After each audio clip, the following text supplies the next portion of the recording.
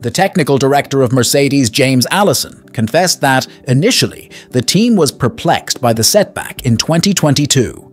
Allison was reinstated to his position in April this year, after it became evident that the second Mercedes car, built according to the new Formula One regulations, did not represent a sufficient improvement compared to the first.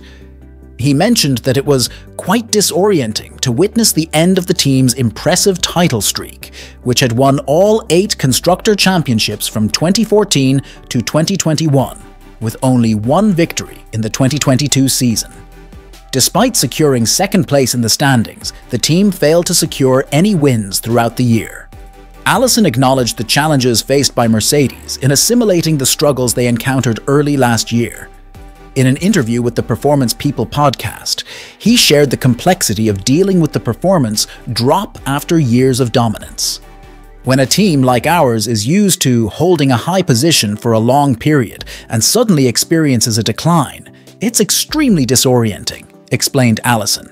He emphasized the negative impact on the team's confidence, highlighting how the reality of the stopwatch and defeats by other teams shook the foundations of the group. The previous feeling about the group suddenly loses its solidity in the face of the reality of the stopwatch and being surpassed by other teams. This shakes the confidence of an organization and creates immediate pressures on a company accustomed to long-term planning. Allison also addressed the challenge of dealing with the urgency to improve the car's performance, pointing out that sometimes the immediate pressure to fix problems can be counterproductive.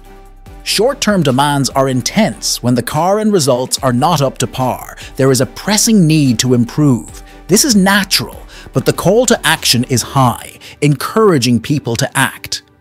However, the reaction can lean towards all disciplines within the company, from aerodynamics to vehicle dynamics, through the design office and all the specialties necessary to collaborate in creating a high-performance car, potentially heading in different directions.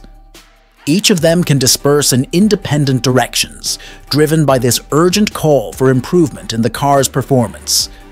If we're not careful, these groups may stop communicating with each other, focusing individually on their tasks to contribute in the best possible way, motivated by this urgency to enhance the car. It's possible that, inadvertently, a disconnect may occur between these groups, as everyone is focused on resolving what they perceive as their responsibility to improve the whole. During that challenging period since the initial decline of our supremacy, the most detrimental pattern we adopted as a team was to fragment more than would be appropriate. After this year's car launch, which apparently resembled the Mercedes car from the previous year and resulted in insufficient gains, the team brought Allison back as technical director, a position he had relinquished to Mike Elliott two years earlier. Elliott left Mercedes at the end of the year. Allison explained that the immediate branching of this change was not a direct significant contribution to chassis design, but rather the internal reorganization of the team. The focus was to ensure that Mercedes developed a competitive car for the 2024 season. If there was any positive effect, it was my attempt to bring all of this together, to encourage the key engineers leading the main divisions of the company to communicate more with each other. The goal was to alleviate some of the immediate pressure and drown out the cry coming from the car's performance, focusing on coordinating our work, he stated, the simple gathering of these people and the formulation of some questions, whose answers would only be possible after a dedicated time for dialogue, allowed them to unite around a jointly agreed program of activities to get those answers. Allison emphasized that it doesn't take long for people to revert to the habit of supporting each other rather than working individually, as this approach is more rewarding. And when someone gives permission for this collaboration, especially when these are the crucial questions that need to be answered, a natural cohesion and synergy occur within the team.